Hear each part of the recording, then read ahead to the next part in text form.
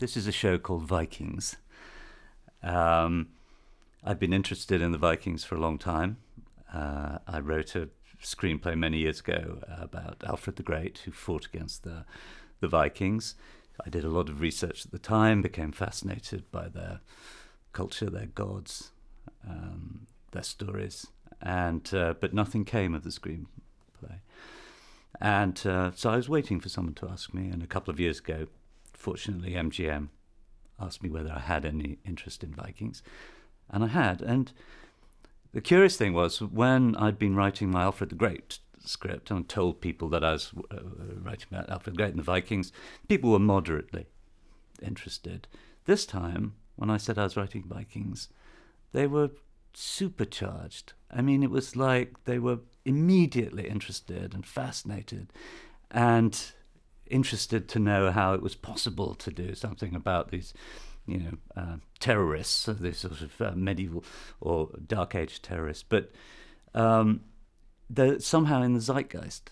I mean, people are, it's genuinely, they, when the History Channel, who uh, made it, for, you know, paid for it at least in, in America, asked me how I would promote it. I said, just put big billboards up with the word Vikings on it. Um, so uh, I can't explain altogether why uh, they're the Zeitgeist at the the moment. That they, seem to be. They had a huge impact, of course, culturally on Europe and further afield. Uh, so they're very important uh, to, to, to us historically and uh, uh, in, in many ways.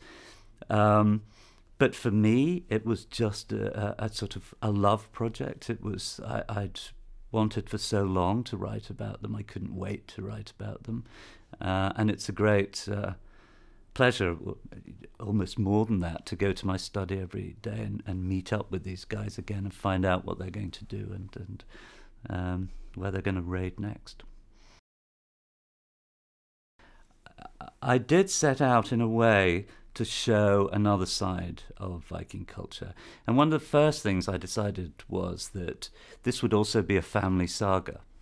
So it's about Ragnar, his wife, his children, his brother. And it was like saying to people, hey ho, you know, the Vikings were human beings. You know, they had children, they loved their children, they had wives, they were farmers, you know.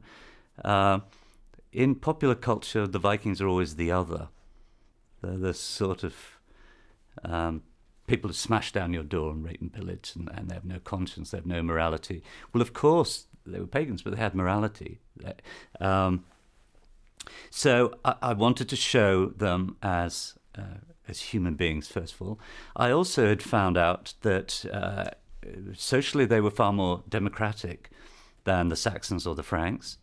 Uh, people uh, got where they got mainly on merit. They had these huge meetings called, wonderfully, the Thing, where they would discuss uh, uh judicial matters or property matters. Um, their treatment of women was far more egalitarian than, than the Saxons. Uh, women could divorce their husbands. They fought next to their husbands and sons and brothers, uh, and they could rule uh, Ragnar's first wife, Lagertha, became an earl.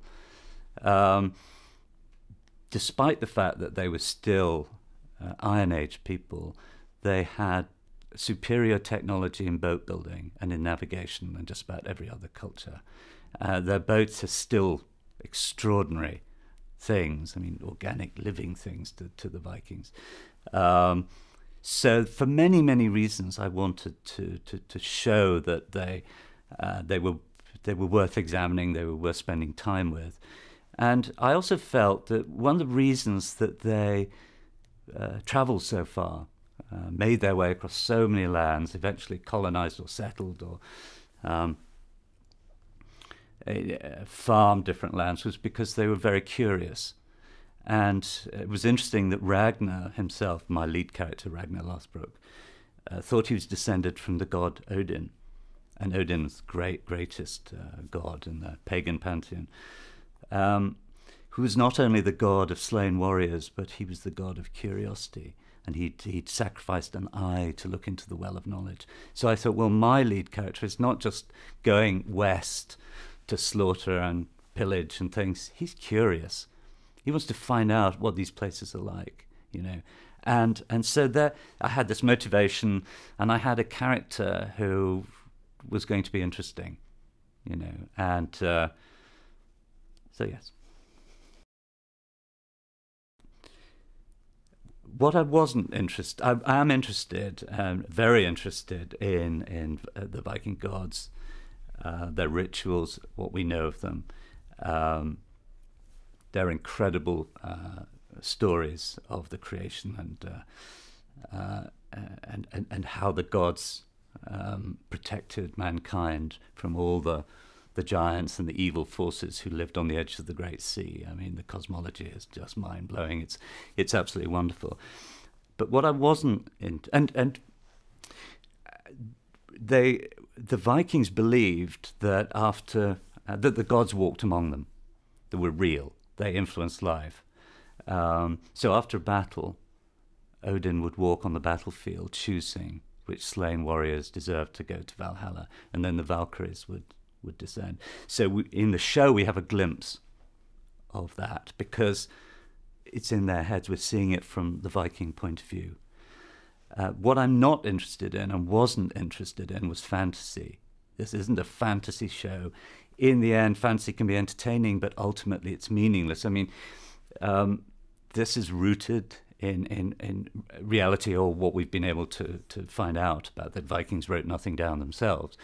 But um, it's anchored in in real things, and um, so even when it there's a sort of heightened reality or whatever, it's because this is how the Vikings would have seen would have seen the world. Uh, they looked at landscapes differently from us. They looked at the sea differently from from us, and I wanted to show that it enriches the the the story. And and Ragnar, with his identification with Odin, can see Odin every, everywhere because the gods were shape shifters too. They became different things. So the raven, he's he's a raven sometimes, or when you're looking at another animal, you don't actually know whether it may be a god or not.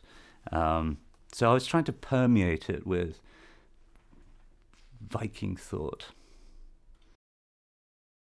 In terms of how much violence we could show or wanted to show, uh, the first thing to say is is that uh, history is a network show, and there are very strict rules now in America about if you're not a cable, uh, specifically cable show, there are just things you can't show. So we had to regard that as a challenge. Uh, we couldn't bemoan the fact that we couldn't, you know, be gratuitous. I think a lot of shows are you know, Spartacus. It's too gratuitous. I think it's ridiculous. You know, so we didn't want to do that. But it does mean you've got to be inventive, imaginative, in, in, in how you you show it. It is a visceral show. It does have violence. I mean, they you know they were violent. I mean, they were brilliant warriors. The um, they were the bodyguard uh, of, of, many monarchs in, in the long run uh, because of their reputation.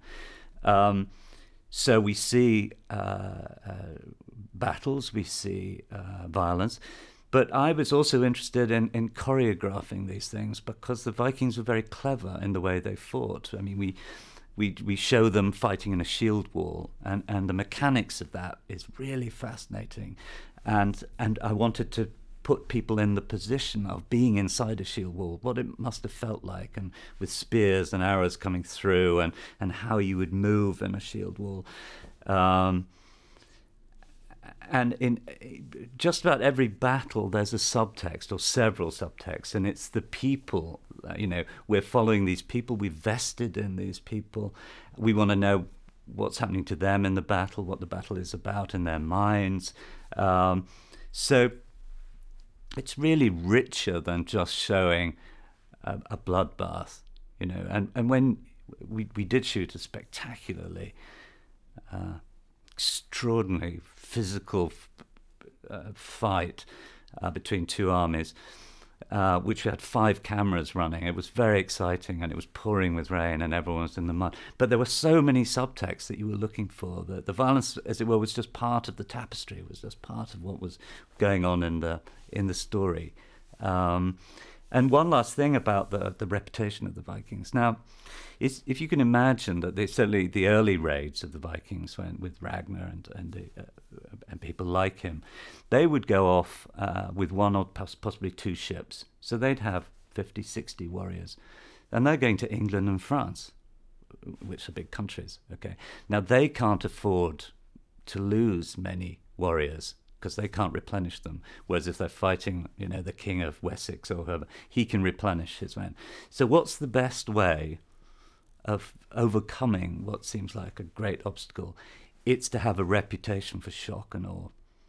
So if you're a, you're coming and they, the Vikings are coming, you know, this is frightening. So they got a long way on that reputation. They used that reputation themselves. Um, and it's not altogether historically accurate because their history was written by uh, Christian monks who had every reason to exaggerate how awful they were, how ruthless, how bloody, how, um, and because they also wanted to denigrate their paganism.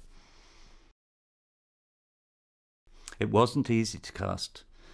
Uh, we were, initially we were offered a lot of very uh, pr- pr- pretty English actors um, uh, because they were being cast in everything.